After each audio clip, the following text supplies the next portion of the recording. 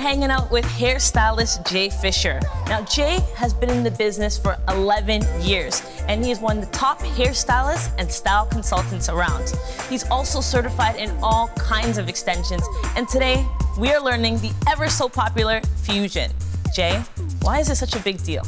Uh, Fusion, they're just the most, one of the most popular uh, of uh, the systems out there. Um, they do take a long time, but people tend to really, really love the result. And why do they love them? They're pretty much undetectable and they blend in very well with your hair. And because they've been around so long, that's their go-to. So how exactly do you install Fusion? Well, they are installed um, by heating up uh, one of these nail tip or U-tip extension pieces, and then they are actually rolled over the client's hair. There's a little bit of heat involved. There's a special tool that you need to be heated up in order to uh, achieve this look. No, can the heating be dangerous being so close to the head? Um, it can, but we have a protective disc that usually goes between your client's head and a very hot tool. okay, so show us how to do this. Sure thing. So you'll first start an inch away from any hairline or any parting, just so that you don't see the bonds in the hair. So again, you have to take an inch around the entire head so that when you put the hair up, you, you won't see, see the extensions. Great, so show us how it works. So I usually start about ear to ear. What you want to do is you want to make sure that you have no little hairs poking out. You don't want any crosshairs because they can be very, very uncomfortable if they get caught inside the glue. And you'll want to take a piece of hair about the same size as the extension itself. Slip the disc onto the piece and then take a flat clip and clip the disc down so that you get no other hairs other than what you want. And then what you do is you take the nail tip or U-tip extension, you place the U-tip above it, but what you definitely want to do is you want to make sure that you're putting the hair in in the direction that you want it to be.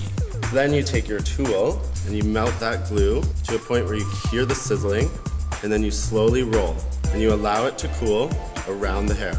We have one bond. And then we move on to the next part. I usually start in the center and work my way out so that I can also check and make sure that I see how far I can go. I can obviously only go to about here before they are detected. What do we do next? Like, is there a certain way you position them, or are you going straight across every time? Absolutely. What I would suggest is, and here I will section it out for you. So you definitely do not want to go above this section. Not very many people can actually have it in here. So what you'd want to do is maybe fill maybe nine to 10 rows, a centimeter apart throughout here, skipping skipping a hair every, so doing every second spot. And then you'd want to fill with about five or six straight lines, avoiding the hairline on this one side here. Remember to leave out the hairline and fill in about this much of the hair on this side and on the other side. So what are the pros and cons of Fusion? Well, the pros with these would be for fullness, volume, body. Um, the cons would be the only thing that makes this separate from the others is that it's a heat related product. So the only thing is, is you have to watch yourself that you don't burn yourself or the, your client. It also does take quite a while. It does take a little bit longer, yes. Okay, so that was our Fusion look. If you do like this look, hit up the website hairextensionsale.com. We've got all kinds of colors, we've got all kinds of styles. If you want this look, you know where to go.